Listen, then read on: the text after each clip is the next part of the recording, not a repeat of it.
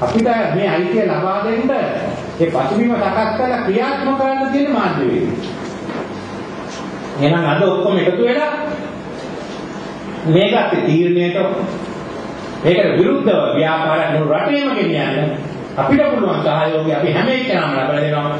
Civil සමාජයේ දේශපාලන වෙන්න පුළුවන්, දේශපාලන නොවෙන්න පුළුවන්, ආගමික වෙන්න පුළුවන්.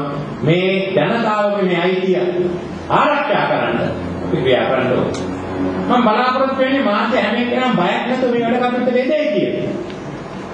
මම මාධ්‍ය දිහා බැලුවා. මට මතක් වෙනවා ෆිලිප් පෙටෝන්ගේ කතාව. මම හිතන්නේ මේ කවුරුත් දන්නවා කියලා ෆිලිප් පෙටෝන්. ෆිලිප් පෙටෝන් තමයි පළවෙනි ලෝක යුද්ධයේදී ප්‍රංශ හමුදා ප්‍රධානිය හැටියට ජර්මන් හමුදා පරාජය කරන්න කියලා.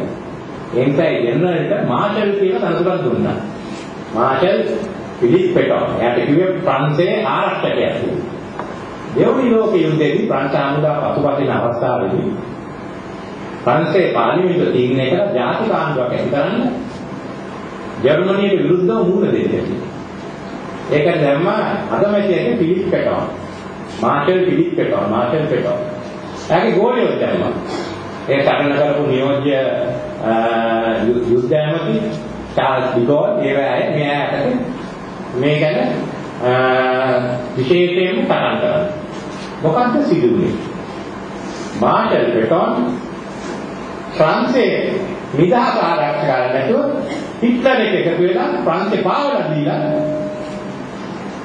අන්තිමට හිට්ලර්ට යටත් වෙලා ප්‍රංශෙන් භාගයක් දුන්නා ඉතුරු භාගයක භාගයක් දුන්නා අන්තිම සම්පූර්ණ එකම දීලා හිට්ලර් තමයි අපේ නායකයා කියලා කිව්වා.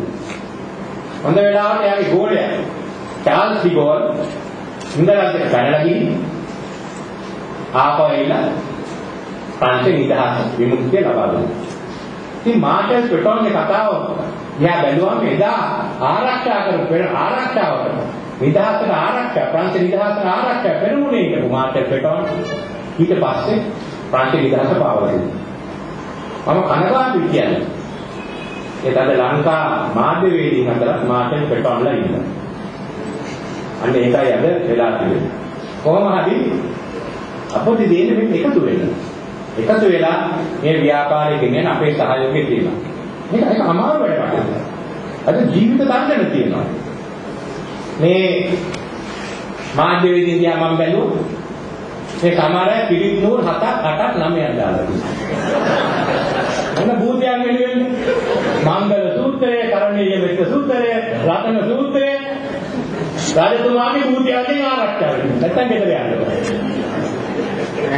අර ඉස්සර යුද්ධේ යනකොට ඒ පවුල් වල බෝධි පූජා කරනවා අද මේ අයගෙන් බෝධි පූජා කරනවා. අඩු ගානේ ආපහු ගෙදර ගිහින්. අද උදේ මොකක්ද උනේ DL එකේ රංගනවල. ඔන්න රහස් පොලිසියකින් ඉන්නවා.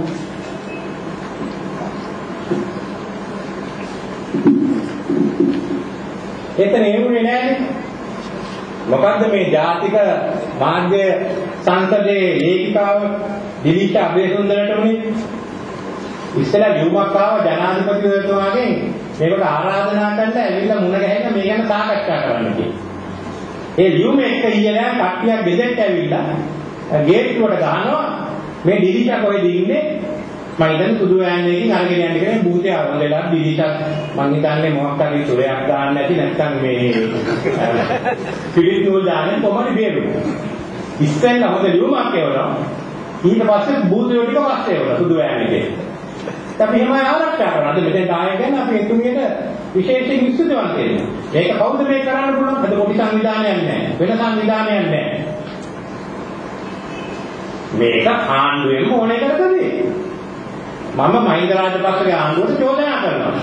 මේ වැඩ කටයුතු කරේ ඒකවල. මාධ්‍ය මාර්ගණය කරනවා. අන්න ඒකයි කළා තියෙන්නේ. එතෙන් බලන්නේ ජනතාවගේ අයිතිය නැති කරන්නේ. අපි කියනවා මේ දේ ගැන හොයලා බලන්න කියලා. මේ රැස්වීම නවත්තන්න ගත්තේ පියවර. කොච්චර කෝල්ස් දුන්නද? කොච්චර බලපෑම් ඇති කරාද? නම් මෙතෙන් තාව සියලු දෙනාටම විශේෂයෙන්ම ආචාර්ය කරනද අපේ නිදහස ආරක්ෂා කරන්න ඔබේ ජීවිතය ඉදිරියට දාලා තියෙනවා.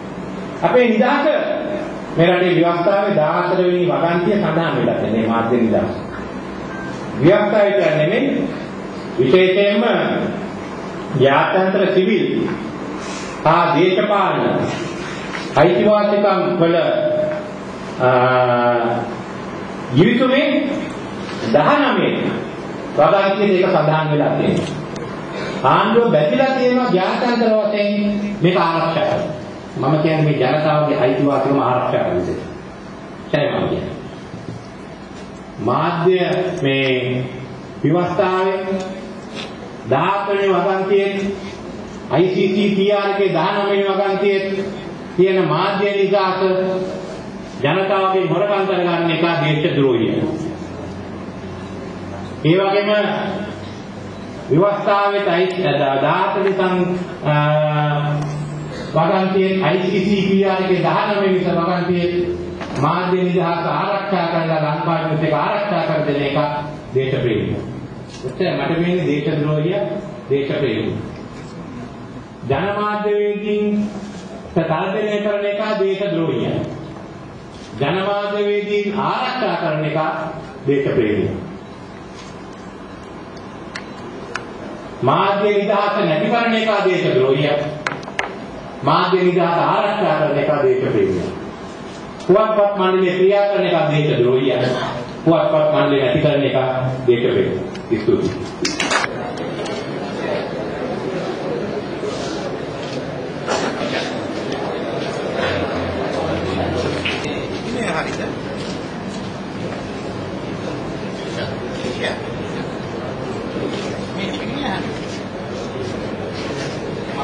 මහවාසයට කොළඹ